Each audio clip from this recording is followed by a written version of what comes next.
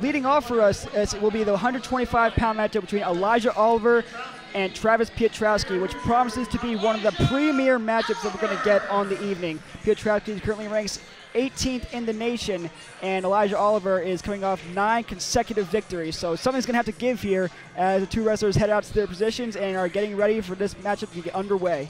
Yeah, you know, you mentioned Oliver, nine consecutive wins, really been able to turn his season around.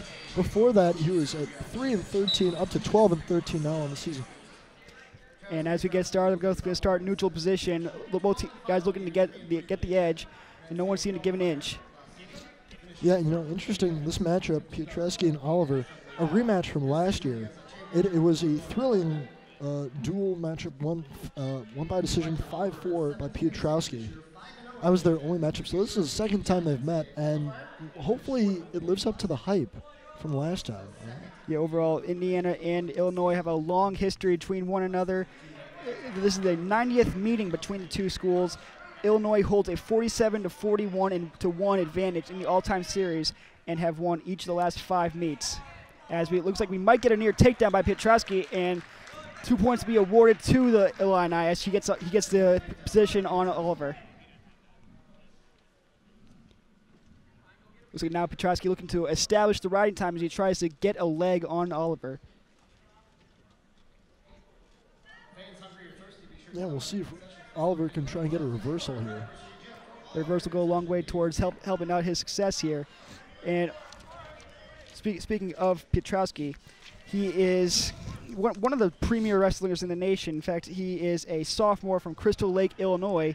He was the 2017 Roadrunner champion and the first Illini true freshman to qualify for NCAA's last season since Jackson Morris back in 2011. Yeah, talented guy, definitely someone who the Illini wrestling team is uh, is building around for the future. And he's number 19 in the country right now. Yeah, yeah there, there are a few different outlets, mostly having him around the same same, same uh, ranking position. He's been seen at 18 and 19 on a couple different uh, different outlets, from inter intermat wrestling to FloWrestling to the United States Today post, uh, coaches poll.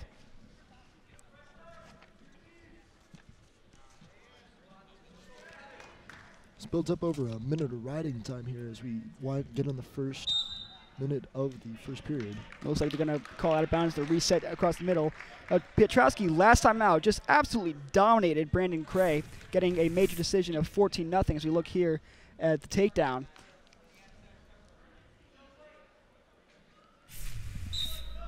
They're going to start with Oliver from the down position. Great way, a really, it's, a, it's, it's actually kind of underrated to be starting from the down position as you can and often get a quick escape point out of that. But Piotrowski not letting Oliver do what he does best and slip out of it. Yeah. That's what Oliver right there. Great ass lessons by Oliver to escape that hold there, as he, he, did a series of moves that just uh, just uh, just slippery out there.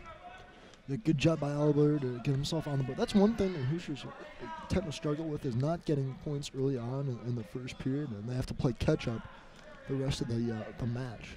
Yeah, so getting off to an early start, I guess, especially against one of Illinois' more talented wrestlers in Piotrowski, is going to be huge uh, going forward if, if Indiana's going to pull off the upset. As we saw before, Illinois ranked 14th in the country despite just a 5 and 3 record.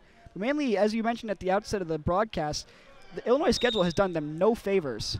No, none at all. Again, when you, the three losses they have are against top 15 opponents in the country, that's ridiculous. As you get a look here at Elijah Oliver's quick escape right there, you see him just diving under the reach of Piotrowski and able to escape.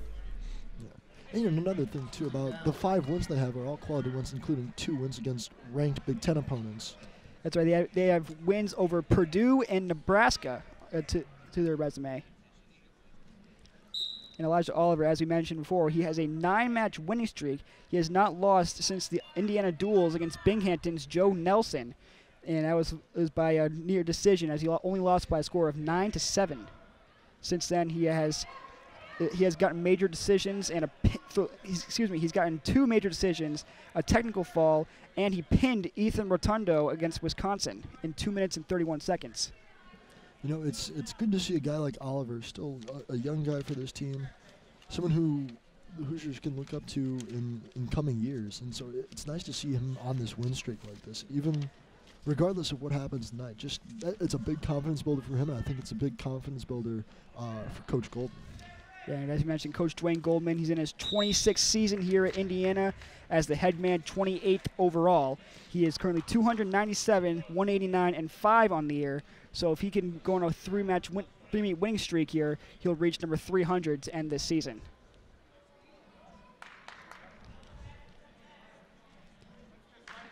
And we're going to see with about a minute 13 left in the second period. Elijah Oliver is going to start from the down position. Looks like we're going to have a clock dispute here between Illinois coach Jim Heffernan and the official.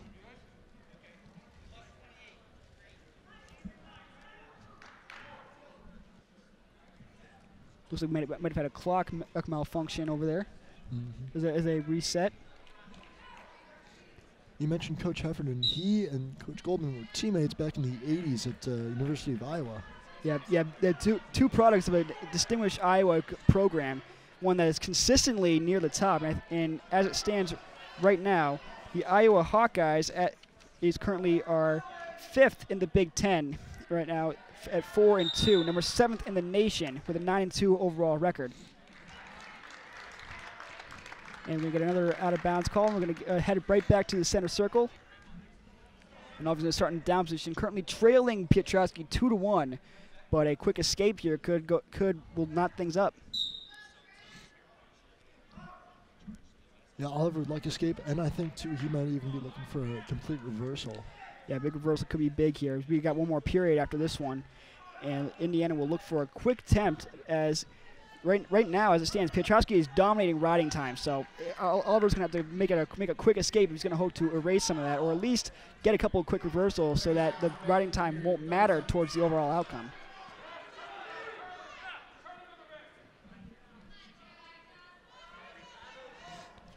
Piotrowski not giving an inch here as he's got that leg in a, almost a figure four back in the back. Yeah, and unless Oliver can get an escape here, Piotrowski will have exact about three minutes of riding time built up. That'll be pretty hard to overcome. Yeah, it's basically a guaranteed point there for Piotrowski at this point, as he's built up so much riding time that it basically it's basically a two point, two three point deficit at this point for Oliver, despite the score reading two to one. Yeah, 307 riding time built up exactly. That's We're, uh, we're gonna look here. at Oliver just trying to frantically escape, but he's not getting an inch from Piotrowski. He's trying to make his way to the edge, but Piotrowski was able to hold him down and keep him in bounds. Piotrowski doing a good job of not uh, giving Oliver anything. Oliver starting from the up position there now. Yeah, Piotrowski trying to get the escape, trying to build on his lead, but Oliver doing a good job of locking the fingers and trying to keep him in bounds, trying to his best to recover some of that riding time, which he managed to kill about 10 to 11 seconds of. But in the long run, that's not going to do a whole lot. Mm-mm. As at this point, Oliver's probably focusing a little more on escapes and reversals rather than trying to cut down the riding time from Piotrowski if he hopes to win this one.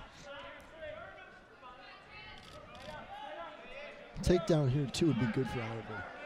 The takedown would go along, would be huge as it could, and that's but but that's not what he wanted right there because Piotrowski gets the escape. So we got about a minute and a half remaining in the third period. Elijah Oliver trailing Piotrowski three to one. Piotrowski dominating riding time right now with three minutes and 12 seconds accumulated. And now we're going for a tackle. Piotrowski's able to keep a firm base. He gets his legs behind him, plants himself into the ground, and stops Oliver from getting the takedown that he sorely needed. It's a nice job by Piotrowski to avoid contact from Oliver. It was, you know, and Oliver just you can kind of see the frustration on his face there. Those are a couple of really good moves, but Piotrowski is able to stay back and play a re- really good defense there. As you see a lot of experience out of the sophomore, he's look, looking like a seasoned veteran out there. Looking at Yeah. the boundary call, about 51 seconds left. 3-1 lead for lead for Piotrowski.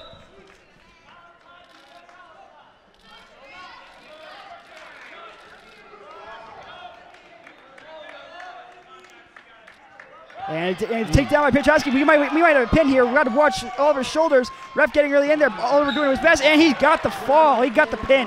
And that's a pin for uh, Travis Piotrowski. And, and he- uh, he defeats Elijah Oliver for the total uh, for the pinfall. And Illinois takes an early six to nothing lead. Great win there by Travis Piotrowski. Elijah Oliver's win streak comes to an end as we get a look here at the takedown. What do you see here, Will?